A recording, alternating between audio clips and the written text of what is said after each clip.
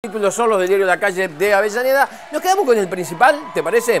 Eh, allí donde Kisilov y Ferraresi inauguraron este centro cultural Kirchner en la isla eh, Maciel, donde obviamente eh, habló el intendente, pero también lo hizo el gobernador de la provincia, Axel Kisilov.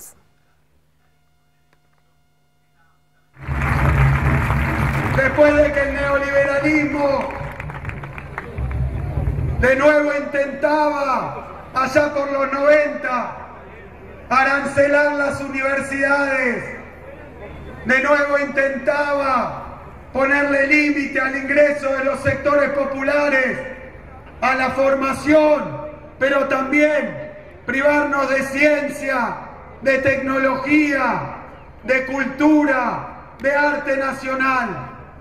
En esas épocas donde lo que cambiaba era el desinterés, el malestar. Vino Néstor a decir que el pueblo argentino tiene la mejor ciencia, el mejor arte, la mejor cultura y la mejor historia. Recuperar la autoestima.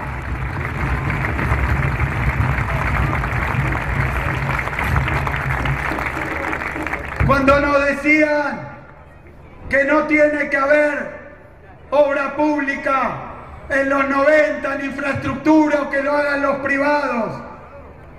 Néstor vino y ya en aquel discurso, pocos días después de lo que estamos conmemorando, un 25 de mayo, en ese discurso donde habló de proponernos un sueño, nos dijo que había mucha deuda social, que había una deuda que no era ni con el fondo, ni era tampoco con los acreedores extranjeros, era con nuestro pueblo que no tenía cloaca, que no tenía agua, que no tenía vivienda, que no tenía rutas y llevó adelante con Cristina el plan de infraestructura más importante.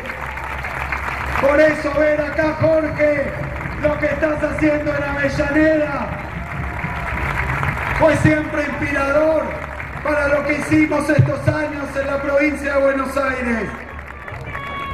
Néstor mostró que la política no era un tema de burócratas. Néstor mostró que la política no era un tema de tecnócratas que venían con planes creados en Washington para aplicar en los países periféricos. Néstor mostró que hacía falta coraje, audacia, lucidez, pero sobre todo coherencia y entrega para transformar este país.